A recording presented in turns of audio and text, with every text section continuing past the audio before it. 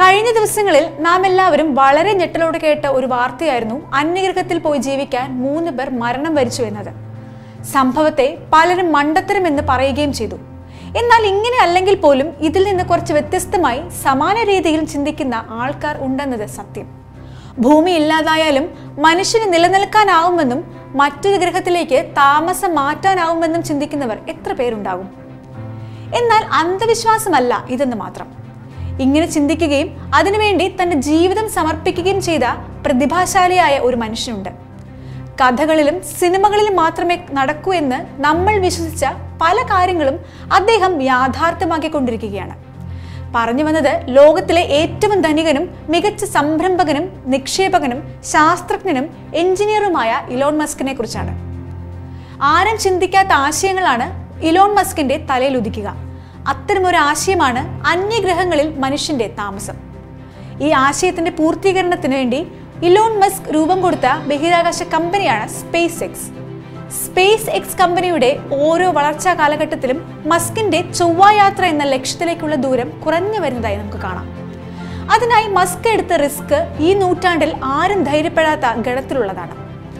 മനുഷ്യരാശിയുടെ നിലനിൽപ്പ് ഭൂമി എന്ന ചെറിയ ഗ്രഹത്തെ മാത്രം ആശ്രയിച്ചായിരിക്കരുത് എന്നതാണ് മസ്കിന്റെ നിലപാട്. മനുഷ്യൻ ഏകഗ്രഹ ജീവിയായി ഒതുങ്ങിക്കൂടരുത്. പകരം ബഹുഗ്രഹ ജീവിയാകാൻ പരിശ്രമിക്കണം. അതുകൊണ്ട് തന്നെ മൾട്ടി പ്ലാനറ്റ് സ്പീഷീസ് എന്ന വാക്കുപയോഗിച്ചാണ് മസ്ക് പലയിടത്തും മനുഷ്യവംശത്തെ വിശേഷിപ്പിക്കുന്നത്. ഇതേക്കുറിച്ച് ഇലോൺ മസ്ക് പറയുന്നത് ഇങ്ങനെയാണ്. കുറച്ച് നൂറ്റാണ്ടുകൾ പിന്നോട്ട് സഞ്ചരിച്ചാൽ ഇന്ന് വളരെ സാധാരണമായ പലതും മാജിക് പോലെ നമുക്ക് തോന്നും. ദൂരെയുള്ള ആളുകളോട് സംസാരിക്കുക ചിത്രങ്ങൾ അയച്ചു കൊടുക്കുക പറക്കുക തുടങ്ങിയ കാര്യങ്ങളൊക്കെ പണ്ടുള്ളവർക്ക് മാജിക് മാത്രമായിരുന്നു. ഇന്ന് കെട്ടുകഥകൾ പോലെ തോന്നിക്കുന്ന തന്റെ ആശയങ്ങൾ നാളെ മൊബൈൽ ഫോണും ഇന്റർനെറ്റും പോലെ മനുഷ്യരുടെ നിത്യജീവിതത്തിന്റെ ഭാഗമാകും എന്ന ഉറപ്പാണ് ഇലോൺ മസ്കിന്റെ വാക്കുകളിലുള്ളത്. ദക്ഷിണാഫ്രിക്കയിലെ പ്രിട്ടോറിയയിൽ ആയിരത്തി തൊള്ളായിരത്തി എഴുപത്തി ഒന്ന് ജൂൺ ഇരുപത്തിയെട്ടിനാണ് ഇലോൺ റീഫ് മസ്ക് എന്ന ഇലോൺ മസ്ക് ജനിച്ചത്. കുട്ടിക്കാലത്ത് സയൻസ് ഫിക്ഷൻ നോവലുകളും കഥാപുസ്തകങ്ങളുമായിരുന്നു മസ്കിന്റെ കൂട്ട്. രാസവസ്തുക്കളും വൈദ്യുതിയും ഉപയോഗിച്ചുള്ള പരീക്ഷണങ്ങളായിരുന്നു അക്കാലത്തെ മറ്റൊരു പ്രധാന ഹോബി പൊട്ടിത്തെറികളും തീപിടുത്തവും ഒക്കെ പതിവ് കാര്യങ്ങൾ.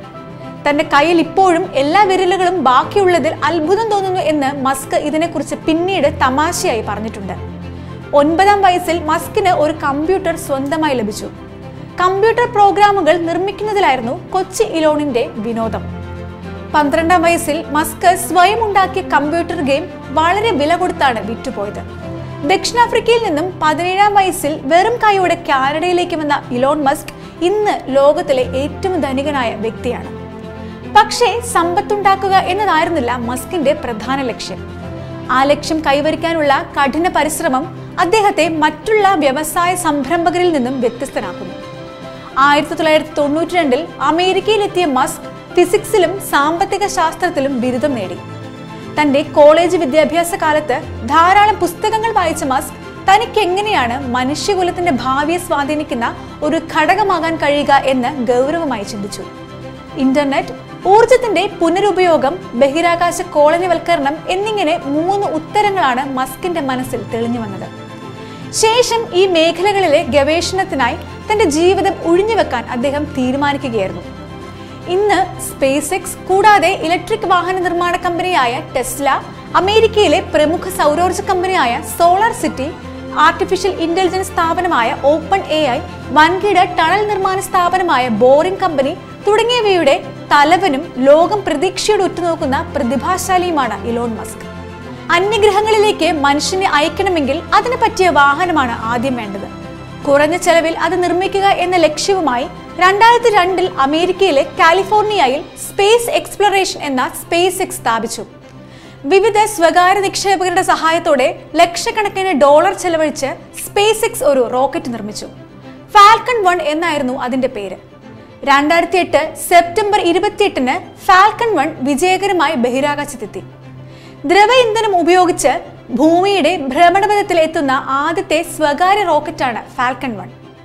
Falcon nine Falcon Heavy എന്നിവയാണ് ഈ ശ്രേണിയിലെ മറ്റു റോക്കറ്റുകൾ.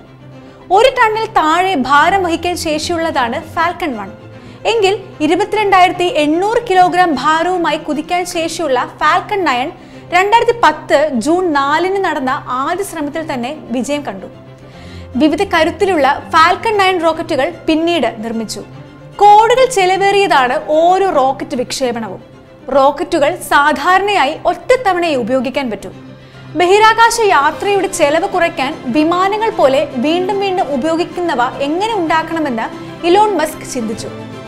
തുടർന്ന് രണ്ടായിരത്തി പതിനൊന്ന് മുതൽ ഇതിനായി ശ്രമം തുടങ്ങിയ അദ്ദേഹം രണ്ടായിരത്തി പതിനഞ്ച് ഡിസംബറിൽ വിജയം കണ്ടു. അതാണ് ഫാൽക്കൺ നയൻ റോക്കറ്റ്. റോക്കറ്റുകളുടെ സഹായത്തോടെ അന്തരീക്ഷത്തിലേക്ക് ലംബമായി കുതിച്ചുയരുകയും പിന്നെ ഒരു വിമാനം കണക്കെ തിരശ്ചീനമായി റൺവേയിൽ തിരിച്ചിറങ്ങുകയും വീണ്ടും വിക്ഷേപണത്തിന് യോഗ്യവുമായ ബഹിരാകാശ വാഹനങ്ങളാണ് സ്പേസ് ഷട്ടിലുകൾ. എന്നാൽ റോക്കറ്റുകൾ കുത്തനെ നിർത്തി വിക്ഷേപിക്കുന്ന അതേ രീതിയിൽ തന്നെ ഭൂമിയിൽ തിരിച്ചിറക്കാനുള്ള സംവിധാനം സ്പേസ് എക്സ് ആണ് ആദ്യമായി കൊണ്ടുവന്നത്. റോക്കറ്റുകൾ തിരിച്ചിറക്കാനുള്ള പ്രത്യേകതരം സ്പേസ് പോർട്ട് ഡ്രോൺ ഷിപ്പുകളും ഇതിനായി മസ്ക് കടലിലിറക്കി. രണ്ടായിരത്തി പതിനെട്ട് ഫെബ്രുവരി ഏഴിന് സ്പേസ് എക്സ് വിജയകരമായി ബഹിരാകാശത്തെത്തിച്ച റോക്കറ്റാണ് ഫാൽക്കൺ ഹെവി. ലോകത്തിലെ ഏറ്റവും വലിയ ബഹിരാകാശ ഏജൻസിയായ നാസയ്ക്ക് പോലും സാധിക്കാത്ത നേട്ടമാണ് സ്വകാര്യ ഏജൻസിയായ സ്പേസ് എക്സ് ഇതിലൂടെ സ്വന്തമാക്കിയത്. സൗരയുധത്തിന്റെ അങ്ങേയറ്റത്തുള്ള പ്ലൂട്ടോയിലേക്ക് വരെ എത്താൻ കരുത്തുള്ള റോക്കറ്റാണ് ഫാൽക്കൺ ഹെവി. റോക്കറ്റിന്റെ ബൂസ്റ്ററുകളും അപ്പർ സ്റ്റേജും വീണ്ടും ഉപയോഗിക്കാനും സാധിക്കും. ഉയർന്ന വലുപ്പവും ശേഷിയുമുള്ള ഉപഗ്രഹങ്ങൾ ബഹിരാകാശത്തെത്തിക്കാൻ ഫാൽക്കൺ ഹെവിക്ക് കഴിയും. അറുപത്തി മൂവായിരത്തി എണ്ണൂറ് കിലോ വരെ ഭാരമുള്ള ചരക്കുകൾ ബഹിരാകാശത്തെത്തിക്കാൻ ഇതിന് സാധിക്കും.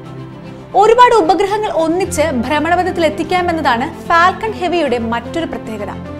സാധാരണ റോക്കറ്റുകൾ പരീക്ഷണ വിക്ഷേപം നടത്തുമ്പോൾ കോൺക്രീറ്റ് കട്ടകളോ ഇരുമ്പ് കട്ടകളോ ഒക്കെയാണ് പേലോഡ് ആയി ബഹിരാകാശത്തേക്ക് കൊണ്ടുപോവുക.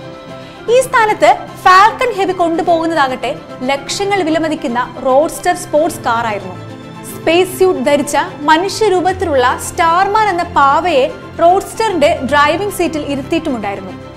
രണ്ടായിരത്തി പതിനേഴ് സെപ്റ്റംബറിൽ ഇലോൺ മസ്ക് പ്രഖ്യാപിച്ച മറ്റൊരു റോക്കറ്റ് പദ്ധതിയാണ് ബിഗ് ഫാൽക്കൺ റോക്കറ്റ് ഇതിന് ഒന്നര ലക്ഷം കിലോ ഭാരവുമായി ബഹിരാകാശത്തേക്ക് കുതിക്കാനാകും.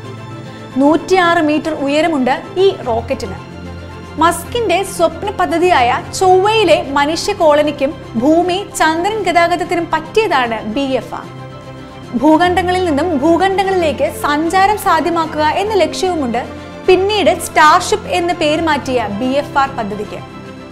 ഈ റോക്കറ്റിൽ ഇന്ത്യയിൽ നിന്നും അമേരിക്കയിൽ എത്തുന്നതിന് വെറും ഒരു മണിക്കൂറിന് താഴെ മാത്രം മതി സമയം.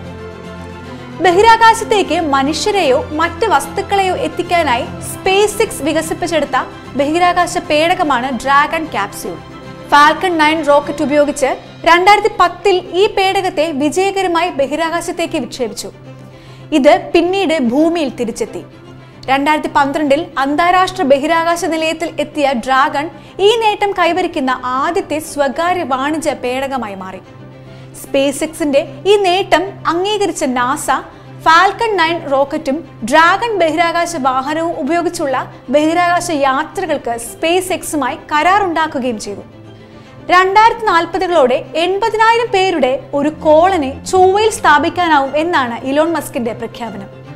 ഈ പ്രധാന ലക്ഷ്യത്തെ പിന്തുണയ്ക്കുന്നതാണ് മസ്കിന്റെ എല്ലാ പ്രധാന സംരംഭങ്ങളും. ടെസ്ല കമ്പനി ഒരിക്കൽ ചൊവ്വയിൽ ഓടുന്ന വാഹനങ്ങൾ കണ്ടുപിടിച്ചേക്കാം. ചൊവ്വയിലെ ഗതാഗതം സുഗമമാക്കുന്ന മികച്ച സാങ്കേതിക വിദ്യകളാണ് ഹൈപ്പർ ലൂപ്പ് ബോറിംഗ് കമ്പനികളുടെ ഉദ്ദേശം. സോളാർ സിറ്റിയുടെ ഗവേഷണങ്ങളാകട്ടെ ചൊവ്വയിൽ ഇവ ഊർജം നൽകും. മനുഷ്യന്റെ തലച്ചോറും കമ്പ്യൂട്ടറും തമ്മിൽ ബന്ധിപ്പിക്കുക. അങ്ങനെ മനുഷ്യന്റെ തലച്ചോറിന് കൂടുതൽ കഴിവ് നേടാൻ ആവുമെന്നും മനുഷ്യരുടെ ബുദ്ധിയും ഓർമ്മശക്തിയും വർദ്ധിപ്പിക്കാൻ സാധിക്കുമെന്നും അൽഷെയ്മേഴ്സ് പോലുള്ള രോഗങ്ങളെ ചെറുക്കാനാകുമെന്നും മസ്ക് കണക്കുകൂട്ടുന്നു. ഈ ലക്ഷ്യത്തോടെ മസ്ക് സ്ഥാപിച്ച കമ്പനിയാണ് ന്യൂറാലിങ്ക്. എത്ര തവണ പരാജയപ്പെട്ടാലും വിജയിക്കുന്നതുവരെ ശ്രമം തുടരും. അതാണ് മസ്കിന്റെ നിശ്ചയദാർഢ്യം. ആരും ചെയ്യാത്ത അതിനൂതനമായ പദ്ധതികൾ ഇന്ന് ചരിത്രത്തിന്റെ ഭാഗമാകുന്നതും ഈ നിരന്തര ശ്രമങ്ങളുടെ അനന്തരഫലങ്ങളാണ്. അറിവ് ആഗ്രഹം അഭിനിവേശം വിജയത്തിനാവശ്യമായ ഈ മൂന്ന് ചേരുവകളും കൃത്യമായി സമന്വയിപ്പിച്ചുകൊണ്ട് ദീർഘവീക്ഷണത്തോടുകൂടി പദ്ധതികൾ ആസൂത്രണം ചെയ്ത് കഠിനാധ്വാനവും നിശ്ചയദാർഢ്യവും കൊണ്ട് ലോകത്തെ വിസ്മയിപ്പിച്ചുകൊണ്ടിരിക്കുകയാണ് ഇലോൺ മസ്ക്. എന്നാൽ തികച്ചും ശാസ്ത്രീയമായ അടിത്തറയിലൂടെയാണ് മസ്കിന്റെ നീക്കം. അത് അന്ധവിശ്വാസമല്ല.